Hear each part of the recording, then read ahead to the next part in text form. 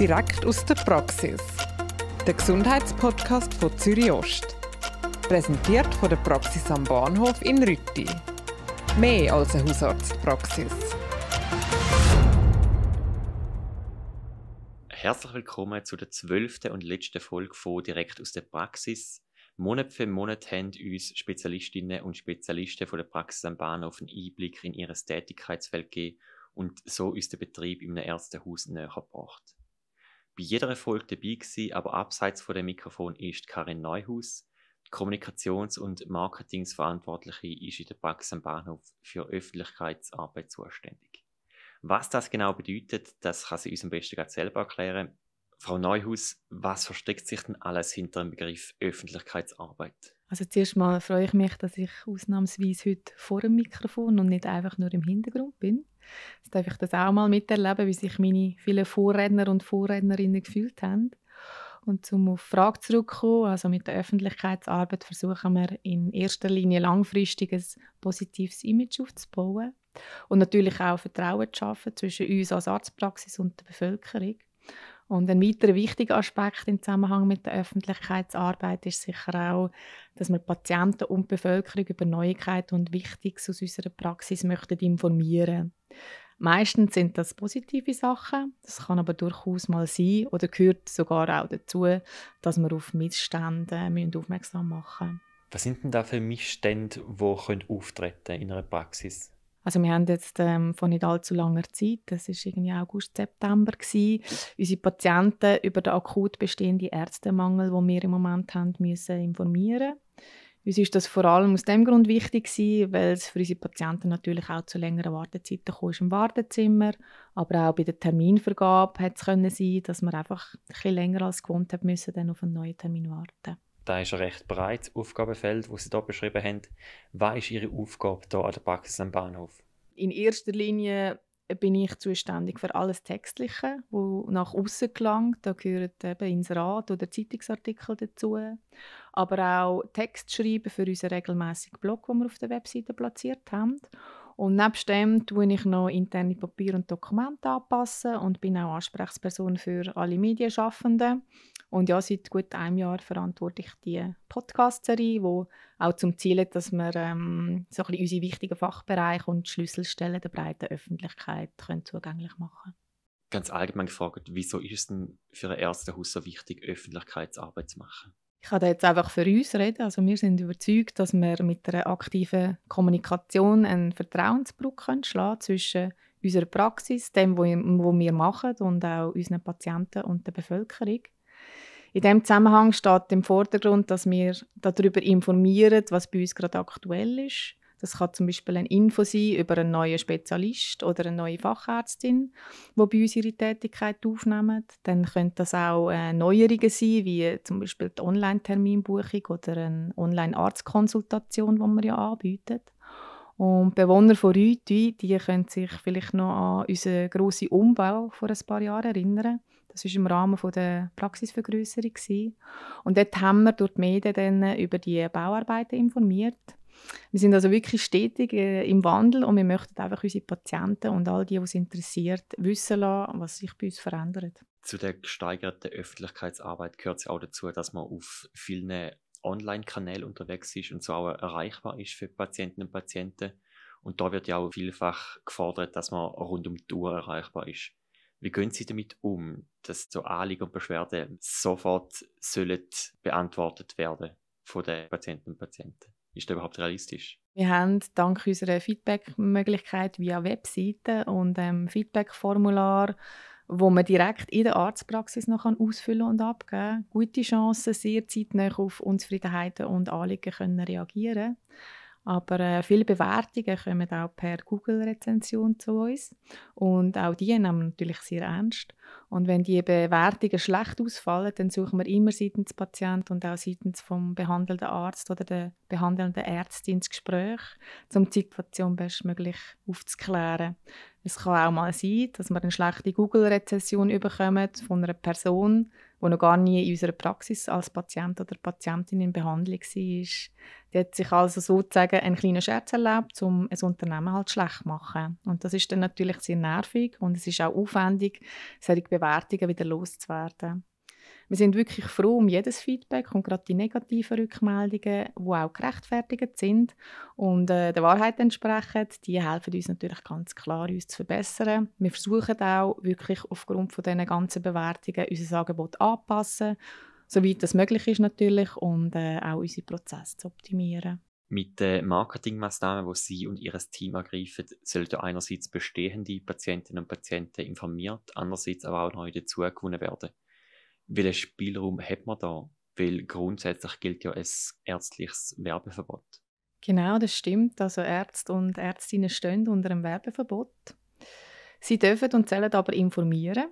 Und zwar darüber, welche fachliche Qualifikationen sie haben, was ihr beruflicher Werdegang beinhaltet, wie die Sprechstunde zum Beispiel von der Arztpraxis gestaltet ist, ob sie neue Patienten aufnehmen, wie es aussieht mit der allfälligen Belegarzttätigkeit, wo für viele Personen wichtig ist, falls ein Spitalaufenthalt ansteht, dann bei welchen ärztlichen Vereinigungen dass sie Mitglied sind und natürlich auch, wie ihr gesamte Dienstleistungsangebot aussieht.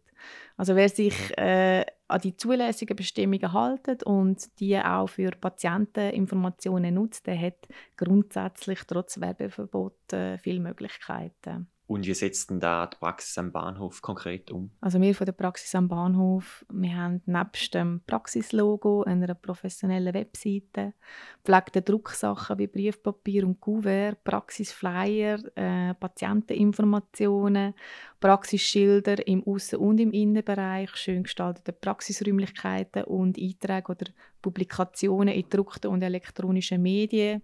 Auch schon Gebrauch gemacht von Einladungen zum Tag von der offenen Tür. Zum Beispiel, wo wir die grosse Praxisneueröffnung hatten. Dann äh, haben wir schon Publikumsvorträge gemacht mit ähm, interessanten Themen wie beispielsweise Kinderwunsch. Und wir haben ab und zu einen Eintrag in öffentlichen Verzeichnissen. Darum würde ich jetzt sagen, dass man mit einem durchdachten Marketingkonzept auch als Arztpraxis einen relativ großen Spielraum hat. Da ist schon einiges, was Sie da unternehmen. Was darf man denn nicht machen? Was verboten ist, das sind erfundene oder nicht sachdienliche Hinweise und Angaben zu machen, die auch das Ansehen des Arztberufs beeinträchtigen. Ich kann das gerne auch noch ein bisschen konkreter beschreiben. Es ist äh, im Prinzip einfach alles, was irreführend ist, auch alles, was einen Vergleich beinhaltet, so zum Beispiel Vorher-Nachher-Effekt oder Bilder.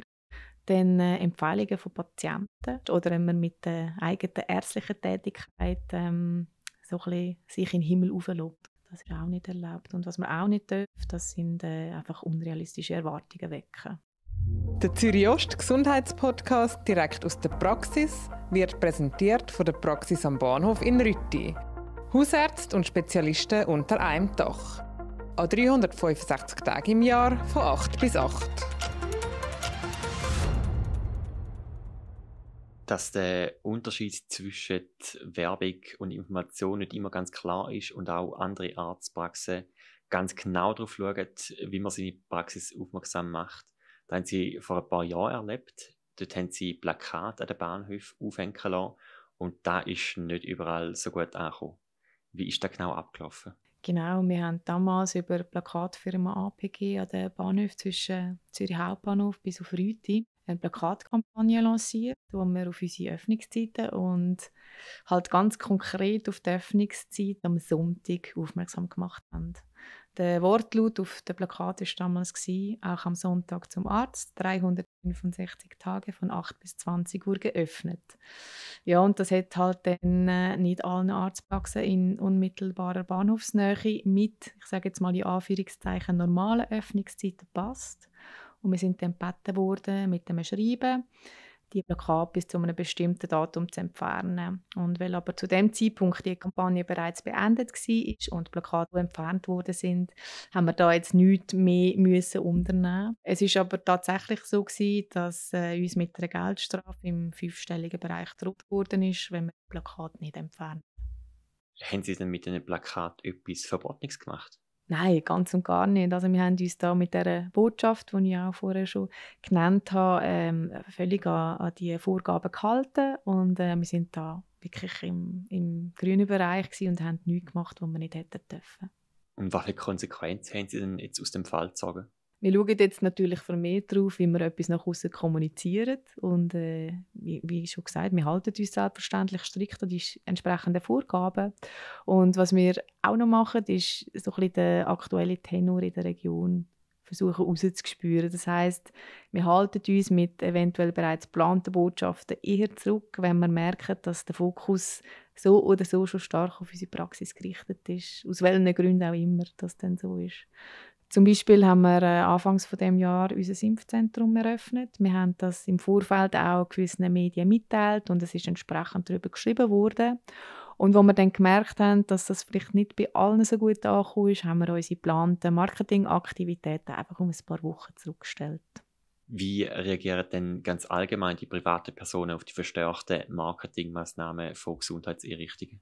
Also ich kann da einfach jetzt gerade von meinem privaten Umfeld reden die finden das durchaus interessant, wer mein Arbeitgeber ist, gerade weil halt eine Arztpraxis nicht unbedingt einem klassischen Unternehmen mit der Marketingabteilung entspricht. Aber so negative Reaktionen von Privatpersonen auf unsere Werbemaßnahmen haben wir jetzt eigentlich nur während der Corona-Pandemie erfahren. Wir haben dort ja zum Beispiel die Bevölkerung während dem Lockdown darauf hingewiesen, dass es trotzdem wichtig ist, zum Arzt zu gehen oder dass wir ein Test- und Impfzentrum haben und all das ist am einen oder anderen dann eher sauer aufgestoßen. Uns ist vermehrt ein Profitgedanke unterstellt worden oder auch, dass wir Teil von einer Verschwörungstheorie sind. Und das ist natürlich in keinster Weise gerechtfertigt gewesen. Im Gegenteil, uns ist es wirklich ein grosses Anliegen gewesen, all denen, die sich impfen lassen, schnellstmöglich auch den Zugang zu einer Impfung zu ermöglichen und auch eine hohe Testkapazität zur Verfügung stellen für all die, die sich halt regelmäßig testen lassen. Und in Bezug auf, auf Profitgier kann ich an dieser Stelle wirklich nur noch eines sagen, wir haben das Impf- und das Testzentrum gerade einmal kostendeckend können führen Wir haben also effektiv keinen Gewinn können erwirtschaften, haben aber sehr, sehr viel organisatorischen Aufwand gehabt. Aber verstehen Sie denn auch, dass Ihre Arbeit kritisch hinterfragt wird? Jetzt gerade der wenn es um gesundheitliche Leistungen geht, wo jeder Mann und jede Frau braucht? Ja, also sicher, zum, zum einem gewissen Grad verstehen wir das. Viele sehen halt so ein bisschen Zusammenhang von einem Gesundheitszentrum nicht und schauen den Arztberuf sehr isoliert an und dass es dann aus dieser Sicht nicht unbedingt Werbung braucht, das kann ich sehr gut nachvollziehen. Äh, für uns ist es halt einfach ein wichtiges Instrument, um die Bevölkerung zum einen auf unser breites Angebot aufmerksam zu machen aber zum anderen auch, um sie über die Vorteile, wo so ein Gesundheitszentrum mit sich bringt, zu informieren. Also gerade die kurzen Wege, wenn es zum Beispiel um Zuweisungen geht, sind ein enormer Pluspunkt und das wissen einfach viele Personen nicht.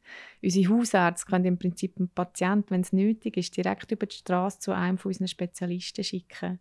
Und auch unsere ganze Ärzteschaft kann auf ein grosses Wissen aus vielen verschiedenen Fachbereichen zurückgreifen und um Rat fragen, wenn es nötig ist. Also so ein Gesundheitszentrum ist äh, sozusagen für beide Seiten, Patient und Arzt, eine grosse Bereicherung und entsprechend sehen wir uns auch in der Pflicht, darüber zu informieren. Was ist denn Ihr persönliches Gefühl? Ist es in den letzten Jahren schwieriger geworden, die Leute von der eigenen Praxis zu überzeugen? Vielleicht ist schwieriger das falsche Wort, aber heute sind sicher andere Faktoren wichtig, die vorher in dem Ausmaß nicht so relevant sind.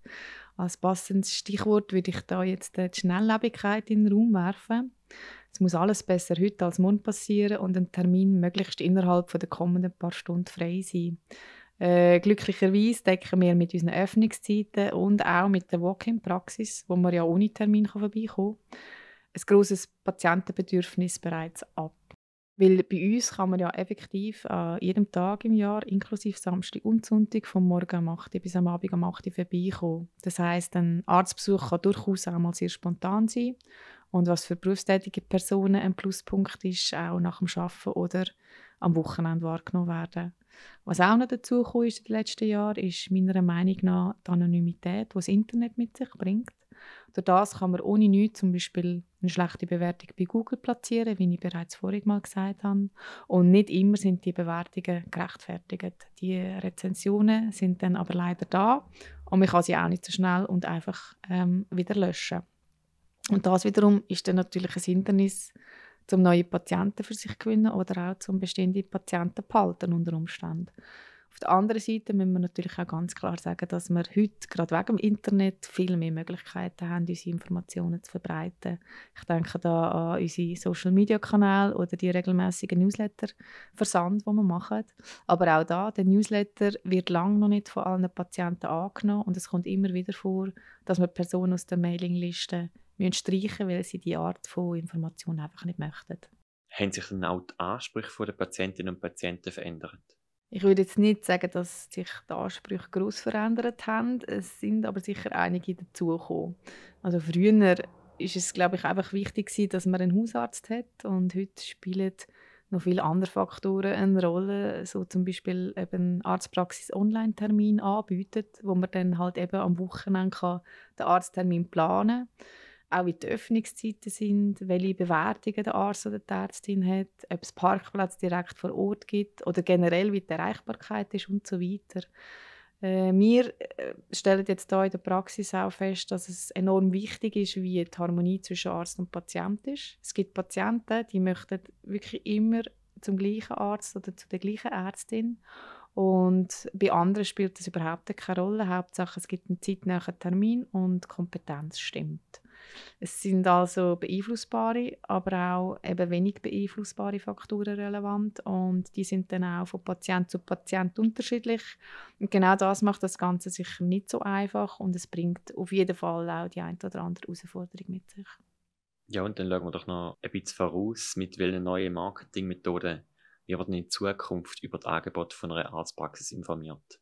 Gibt es da schon bestimmte Trends? Wir versuchen immer auf dem aktuellen Stand zu sein, was Kommunikationstrends angeht.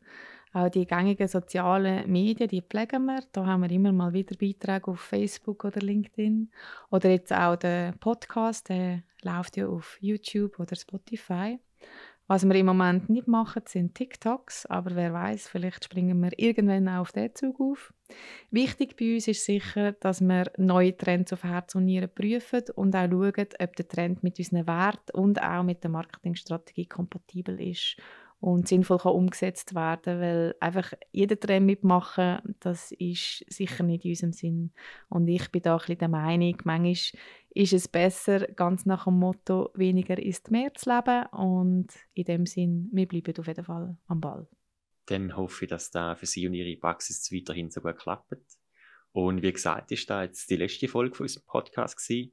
Ich hoffe, es ist für Sie und auch für die Hörerinnen und Hörer genauso spannend gewesen, wie es da für mich war. Darum nochmal ein herzliches Dankeschön für den interessanten Einblick und weiterhin viel Erfolg. Das ist direkt aus der Praxis der Gesundheitspodcast von Zürich Ost, präsentiert von der Praxis am Bahnhof in Rütti. Eine neue Folge erscheint immer am ersten Freitag im Monat. Weitere Ausgaben findet ihr auf züriost.ch/podcast.